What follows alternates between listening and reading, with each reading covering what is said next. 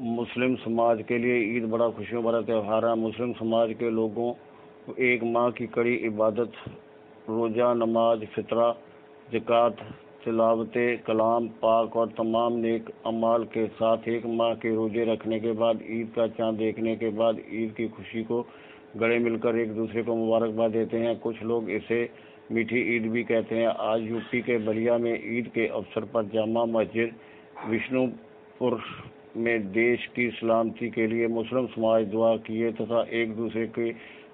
گلے مل کر عید کی بدائی دی۔ میرا نام ہے محمد پرویز روشن۔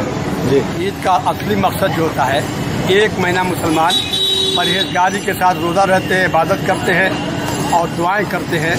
جب یہ کمپلیٹ کرتے ہیں کامیابی کے ساتھ تو انہیں بڑی خوشی ہوتی ہے۔ عید مانے ہوتا ہے خوشی۔ رمضان کی ڈیوٹی پوری کرنے کے بعد انہیں خوشی نصیب ہوتی ہے۔ ہمارے مذہب کا سب سے امپارٹنٹ تہوار عید ہے۔ اس وقت تمام مسلمان دنیا کے اور بھارت کے امن اور محبت کی دعا کرتے ہیں، انسانیت کی دعا کرتے ہیں۔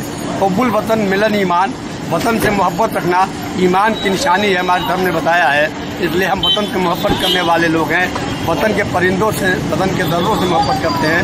اور وطن کی سلامتی کے لیے، وطن کی خوشحالی کے لیے وطن کی ترقی کے لیے، وطن میں امن و امان کے لیے، ایکتا کے لیے، اکھنڈتا کے لیے ہم دعا دعا کرتے ہیں، انسانیت کی کرتے ہیں بھائی چارے کے لیے کرتے ہیں اور چاہتے ہیں کہ ہمارا وطن گلزار ہو، ایسا گلستہ ہو جہاں ہر رنگ کے پھول ایک ساتھ کھلے اور باہر آئے۔ یہاں الگ الگ مذہبوں کے ماننے والے رہتے ہیں، الگ الگ بچاروں والے رہتے ہیں، الگ الگ صورت و شکل والے ہوتے ہیں، الگ لباسوں والے ہوتے ہیں، الگ موسم والے ہیں۔ اور سب جب ایک ساتھ مل بیٹھتے ہیں تو بھارت کی طاقت بنتی ہے، عید کی پہچان ہے کہ بھارت مضبوط ہوگا تو دنیا میں محبت کا پیغام جائے گا۔